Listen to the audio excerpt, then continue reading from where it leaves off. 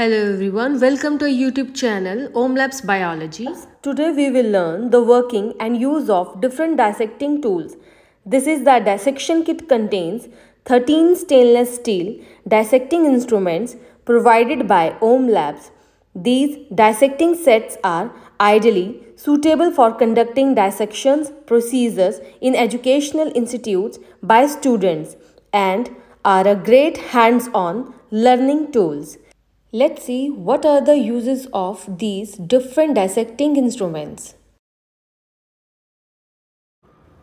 First of all, we will talk about three types of forceps. One is tooth forceps, second is pointed forceps and the third one is blunt forceps.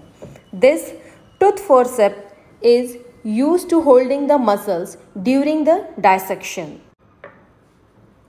This blunt one is used to hold organs, muscles and cartilages. The next we have the pointed forceps. This pointed forceps is used to hold any kind of nerve and artery. Forceps are used to avoid any kind of damage during dissection. Here we have two types of scalpels. It is an essential dermatological tool used for making skin incisions tissue dissections and a variety of surgical approaches.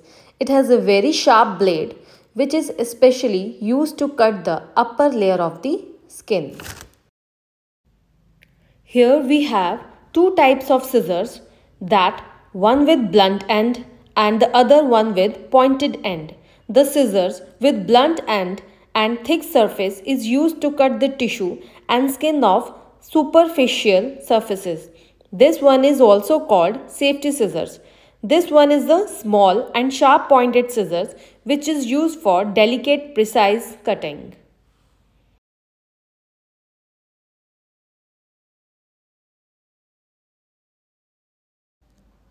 Next in this dissection kit we have three types of needles which have different uses. These are the tearing needles which are used to clearing the pathway of dissection. These are used to manipulate small samples. The sleek and simple design of this stainless steel needle ensures that it's easy to handle and use and its straight shape allows for efficient and precise tearing.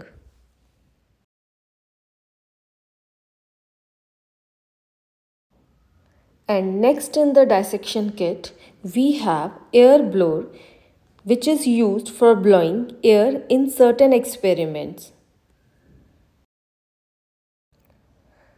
Now the next one is the probe which is very useful tool. It is used to manipulate tissues during dissection, soft tissues removal, shaping cavity preps and many more. The last instrument in this dissecting kit is razor. This razor we generally use in saloons. It is also used for tearing, cutting specimens, etc. This razor is also used to remove or scrape outer layer of the given surfaces. And at last, we have a disposable blade which is also used to cut specimens and tearing.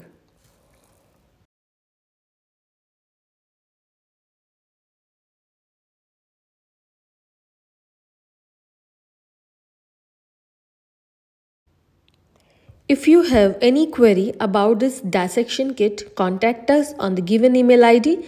Thanks for watching. Do like, share and subscribe our YouTube channel Om Labs and Om Labs Biology.